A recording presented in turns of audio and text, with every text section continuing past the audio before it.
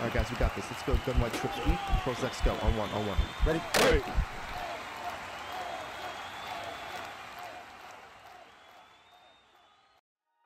What's up guys, it's Pick'em with Huddle GG, and in this video we're going to be talking about the ability known as Secure Tackler. This is going to be an ability we will equip on our defensive players, and defenders with this ability have an increased success rate when using conservative or diving tackles.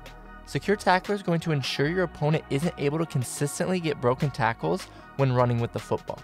Now, you can use Secure Tackler all over the field, but having it on your user is where it can be most effective because if you do shoot a run gap or get to the ball carrier quickly, you don't have to worry about them breaking tackles against you. Now, with that being said, let's go into practice mode and see how beneficial this ability can be for our defense. Here in practice mode, we're going to show the effectiveness of Secure Tackler, and we're actually going to go against this King Henry card who has Freight Train automatically activated to start, okay? Now, the player I do want you to focus on in these two different reps that we run is this left of screen defensive end here. Okay, I have Bill Romanowski here first, who does not have Secure Tackler uh, as an ability, but he does have really high tackle ratings, right? So it's not going to be the tackle ratings here that's effective or that's affected. It is going to be the fact that he does not have Secure Tackler. Okay, so what we're going to do is we're just going to set up our defense real quick, um, and we're just going to go against O1 trap. Okay, really popular run in the Saints playbook in this tight offset, and you're going to see that if this running back is lit up and he has the X factor, it's going to be almost impossible for Romanowski to get the tackle in the backfield because the ability for King Henry is just going to brush off the tackle.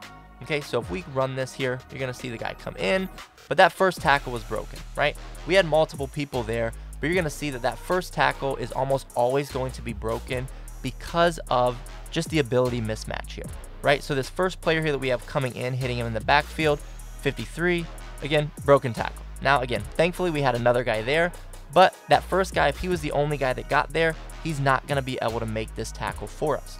Okay, this is where secure tackler is going to be very great for us. Right, so if we sub in a secure tackler and we go against the same exact play, right, we're going to sub in this Barno card, right, and we do the same exact thing on defense and offense here, right, you're going to see that this Barno card is able to uh, make the tackle in the backfield because of the secure tackler ability. Now, I do want to make you aware this is practice mode. I can't user both sides, so I am counting on the computer to make this tackle. But again, if you are using this, you do want to have uh, either use a conservative tackle or a dive tackle, okay? And if you do get into a tackle battle, right, so where you have to push that A button or that X button repeatedly, depending on which console you're on, this is going to be a completely different scenario, and Secure Tackler won't affect that, okay? So that tackle battle is still going to be in the game, but as long as you avoid that, you're going to see here that when we run this, this guy in the backfield here, and there we hit him in the back, so it was a little weird. Let's run that one more time. Uh, for some reason, he didn't target the running back appropriately. So again, let's run this one more time. Like I said, it is kind of tough uh, just because I am counting on the computer to make the tackle here. Uh, but you're going to see here, as long as he goes to make that, you can see there he doesn't get that tackle broken. Right, so as long as he targets the right guy, but again, a lot of times it's going to be with our user, so we don't have to worry about that targeting because it's going to be up to us. But you see here that, remember when Romanowski came in, this first tackle, the running back just ran right through it, right? But since we have secure tackler here on our player, he's going to make this tackle nine times out of 10 if you're using that secure tackle or that or that conservative tackle or that dive tackle.